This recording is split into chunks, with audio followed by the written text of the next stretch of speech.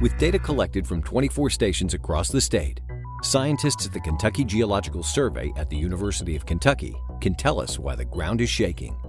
If you go to our website, you see between 9 o'clock to 5 o'clock during the work hour day, you see a lot of mine blasts. Recently, I plotted the USGS earthquake catalog um, and was focusing in particular on this region, this part of the state, to see where we should put a seismic station. And we decided on Perry County for one reason, because of its proximity to ongoing seismicity.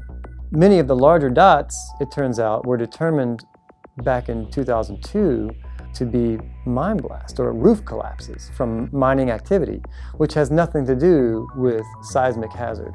We can look at waveforms and look at characteristics of the signal to determine with confidence that waves that we received were the result of a roof collapse or some man-made event instead of an earthquake. The first energy that arrives from a roof collapse or a blast should look the same in all directions. If I have, let's say a blast for example, all the energy would be traveling out away from the source in all directions. Because what's different about earthquakes is that they're created on a fault. And a fault always has a shear mechanism to it. So for example, let's say I have a fault like this and I make the ground move like this, well, what's it gonna feel like to you? You're gonna feel a pull towards and down where the earthquake happened. But somebody over here is gonna feel a push out and away.